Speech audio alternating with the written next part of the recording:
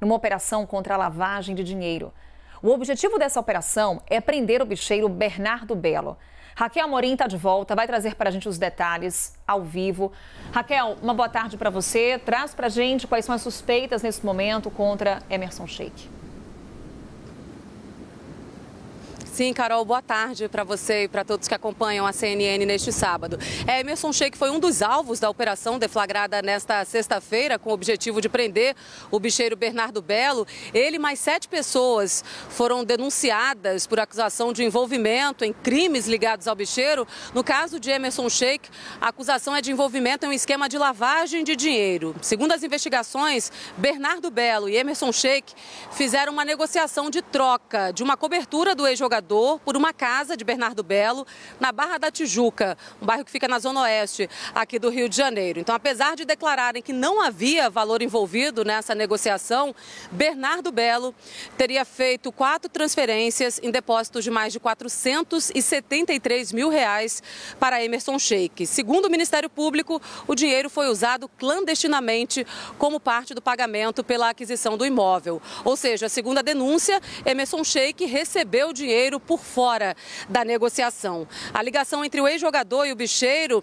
foi descoberta através da quebra do sigilo bancário de Bernardo Belo. Emerson Sheik teve então os bens bloqueados e vai ter que cumprir algumas medidas cautelares. A operação deflagrada ontem foi denominada Banca da Vila. O objetivo foi desarticular uma quadrilha que praticava crimes através do jogo do bicho e da exploração de máquinas caça-níqueis envolvendo a escola de samba aqui do Rio de Janeiro, Vila Isabel. Isabel. Foi expedido o mandado de prisão contra Bernardo Belo, que já foi presidente da Escola de Samba Vila Isabel. Ele foi procurado, mas não foi encontrado, é considerado foragido. Ao todo, foram cumpridos nove mandados de busca e apreensão em endereços ligados ao, contraver... ao contraventor e a integrantes da quadrilha. Falando sobre Emerson Sheik, o ex-atacante se aposentou do futebol em 2018. Ele passou por grandes clubes como Corinthians, Flamengo, Fluminense, Botafogo. Foi campeão da Libertadores Libertadores, no Mundial de Clubes e atualmente é comentarista de esportes em um canal da televisão. A defesa do ex-jogador foi procurada pela CNN, mas até agora não se manifestou. Carol, eu volto com você. Obrigada, Raquel. A gente segue agora com o Leandro Rezende, que também tem informações sobre esse caso. Leandro, o Ministério Público oferece denúncia, Justiça do Rio já aceitou, portanto, estamos falando de Emerson Sheik acusado, Isso. réu. E a Raquel trazia alguns detalhes com relação a medidas cautelares que ele terá de cumprir. Quais são essas medidas, hein, Leandro? É, ele vai, ele não pode se ausentar do Brasil, né, sem comunicar à Justiça. Essa é a principal medida é, cautelar. Ele não pode sair, né, ele precisa comunicar todos os seus passos à Justiça do Rio de Janeiro. Né? Ele precisa, em no máximo 15 dias, informar também à Justiça os números de telefone que ele pode ser contactado, inclusive por WhatsApp.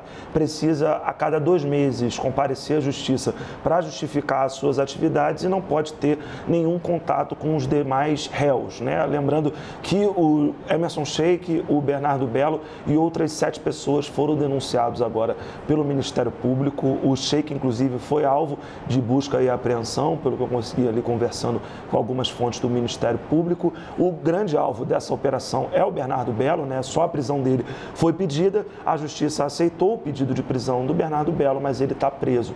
O Bernardo Belo é um dos principais contraventores do Rio de Janeiro, ele já é réu pelo homicídio que teria, é, que teria a responsabilidade dele, teria sido é, a mando dele de um outro contraventor que aconteceu em 2020, né? Uma disputa que já dura muitos anos por pontos da contravenção do jogo do bicho é, no Rio de Janeiro e que tem o Bernardo Belo como um dos seus principais é, componentes. Né? Ele já chegou a ser preso em 2022, quando ele estava na Colômbia e o STJ é, concedeu a liberdade para que ele respondesse a esse processo por homicídio em liberdade. Desde então, ele está foragido. É alvo, portanto, de mais um mandado de busca e apreensão, mas o que chamou a atenção de todo mundo, sem a menor dúvida, foi o envolvimento do Emerson Sheik nessa história, né? porque é, ele ainda não se justificou sobre isso, mas segundo o MP do Rio de Janeiro e a Justiça concordou com isso, ele é, sabia que o Bernardo Belo estava usando a permuta dos dois ali, de dois imóveis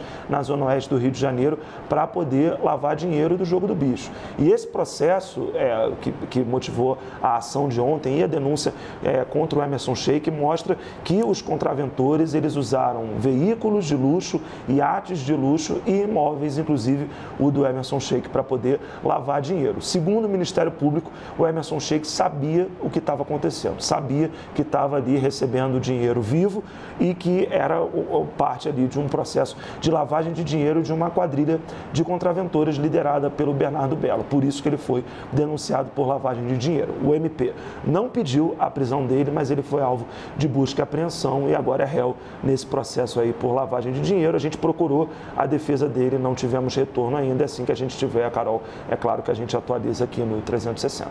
Ficaremos no aguardo. Obrigada, Leandro.